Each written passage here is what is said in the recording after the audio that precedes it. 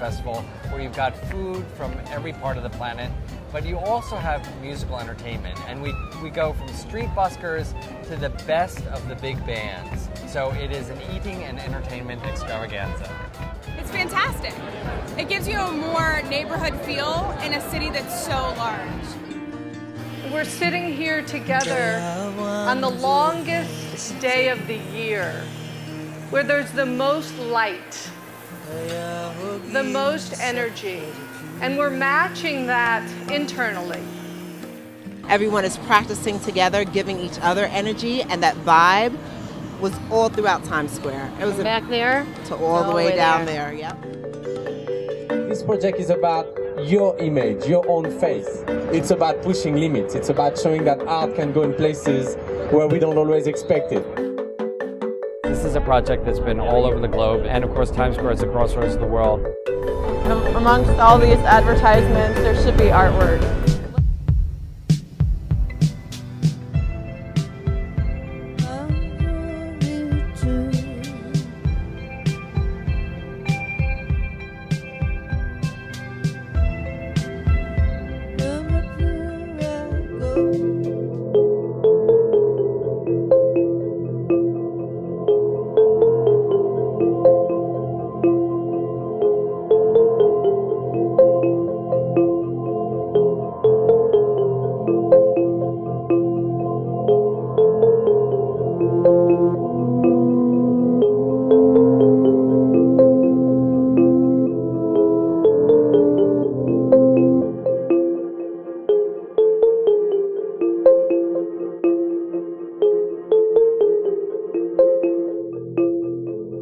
Parts of the crossroads of the world right now looking more like a maze of construction, undergoing a three-year, $40 million makeover, transforming the plaza into a more pedestrian-friendly area.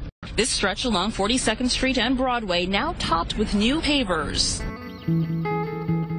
My name's Steve Lambert, and we're here having people vote on whether or not capitalism is working for them in their lives.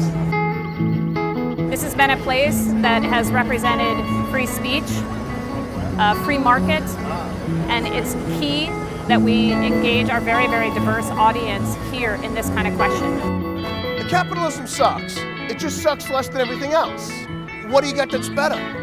Show me something better, especially for our size.